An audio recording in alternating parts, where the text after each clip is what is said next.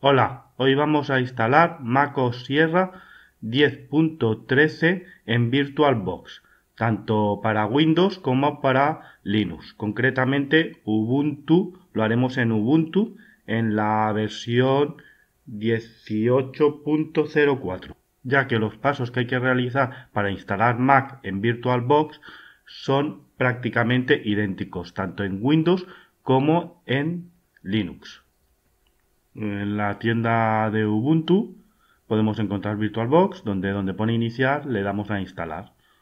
Y luego en la web de VirtualBox podemos descargar el fichero de Windows. También podemos descargar la, la de Linux.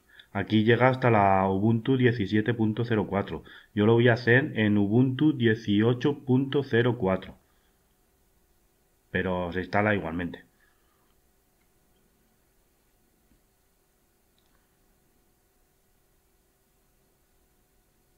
Bueno, arrancamos VirtualBox una vez instalado.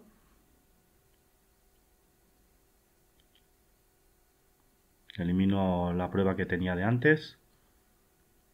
Le damos a nuevo. Indicaremos el nombre que tengo en la chuleta, ya que luego tendremos que poner unas instrucciones con ese mismo nombre. Vosotros si indicáis otro nombre, pues luego tenéis que sustituir las instrucciones con ese nuevo nombre. Le damos a siguiente. Indicamos 4, con 4 es suficiente, pero yo le indicaré 8.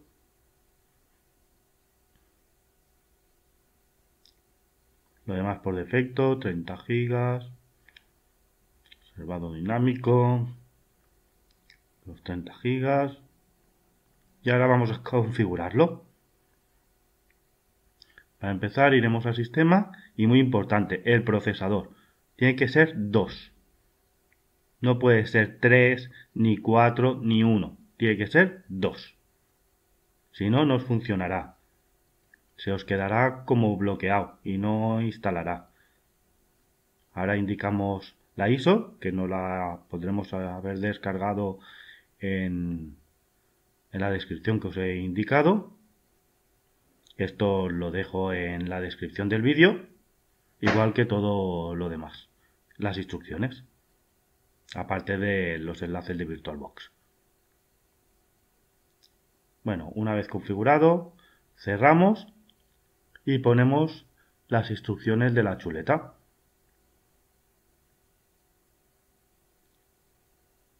Es muy importante poner estas instrucciones porque si no tampoco se os instala. Empieza a arrancar y se va reiniciando y, y no acaba nunca se va auto reiniciando y vuelve a arrancar y se reinicia y arranca y así continuamente. En caso de Windows tendréis que tener en cuenta que tendréis que ir al directorio de VirtualBox porque si no el VirtualBox Manager no lo no lo encontrará el fichero y entonces no se instalará. En caso de Ubuntu no hace falta.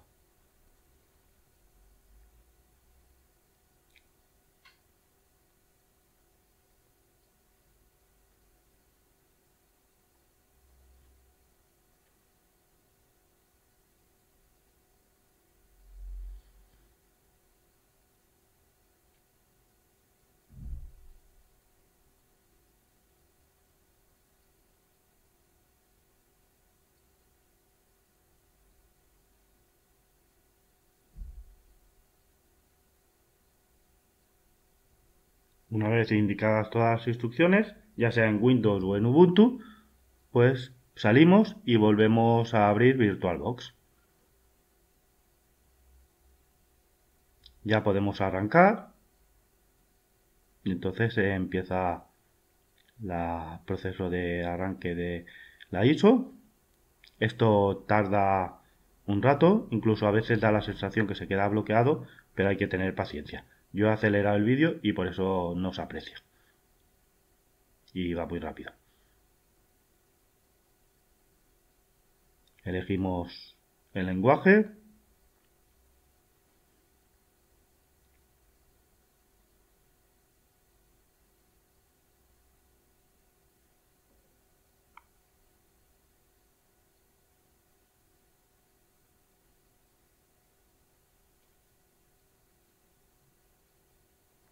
Y aquí ya nos sale la opción de instalar MacOS. Pero antes de instalar tenemos que ir a utilidades de discos para configurar el disco virtual, ya que estamos en VirtualBox. Le damos a continuar. Y aquí podemos ver los discos.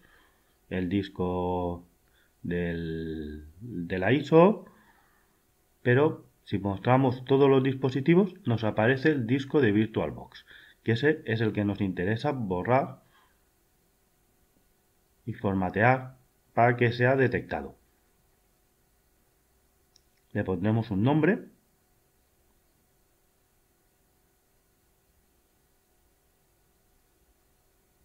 Y borrar. La configuración por defecto es suficiente. Aceptamos y salimos. Y ahora ya podemos instalar. Continuar.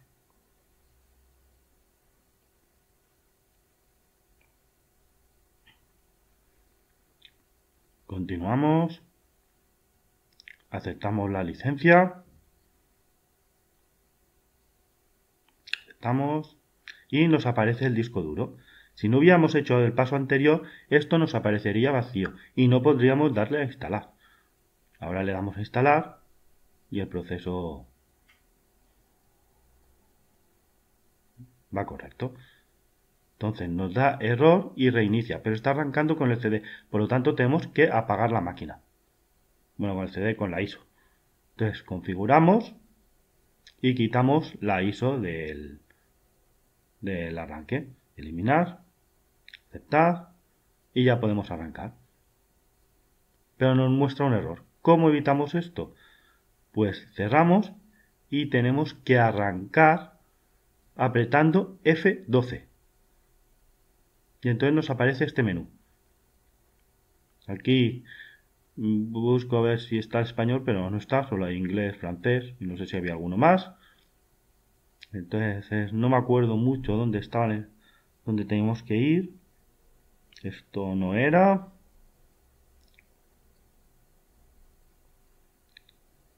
Manager no me suena, no, tampoco.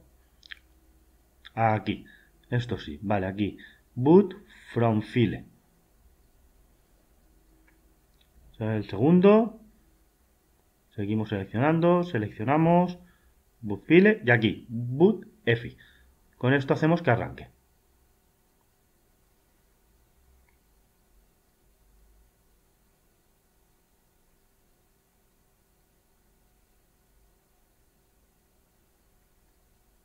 Aquí también hemos acelerado el vídeo. Y empieza la instalación. Que bueno, dice que durará unos 15 minutos. Pero hemos acelerado el vídeo para no estar esperando tanto rato.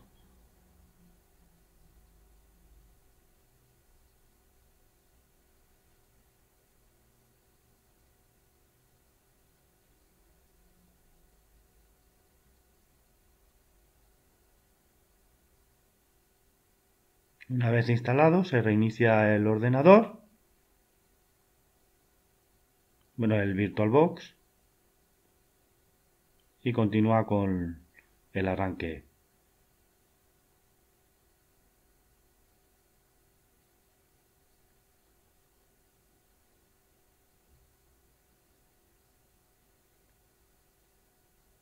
Y ahora, una vez arrancado, Solo falta hacer la última configuración. Indicamos el idioma. Luego el teclado.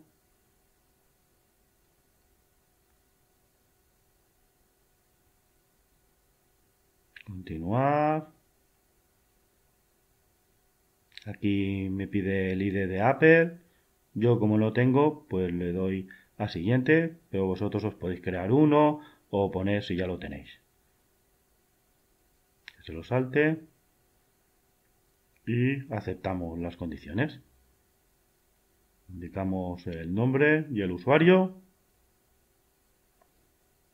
y la contraseña.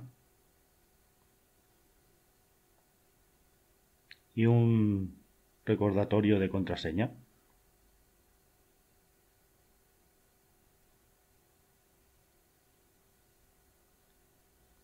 Continuamos.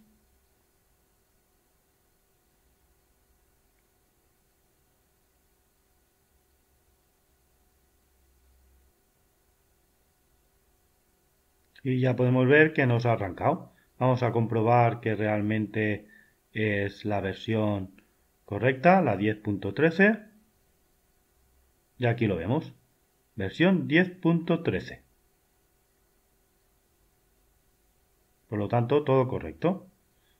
Por último, verificamos que funcione Internet y haremos este último paso para que todo quede configurado correctamente. Nos llamamos a YouTube, a mi cuenta.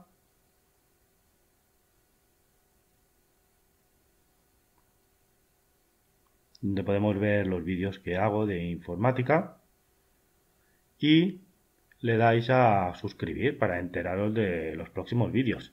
Y si os ha gustado el vídeo, también le podéis dar a me gusta. Bueno, espero que os haya sido de utilidad y que os haya gustado. Hasta el próximo vídeo.